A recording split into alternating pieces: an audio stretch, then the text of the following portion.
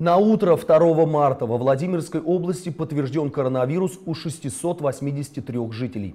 Общее число выявленных в регионе с начала пандемии случаев достигло 137 448.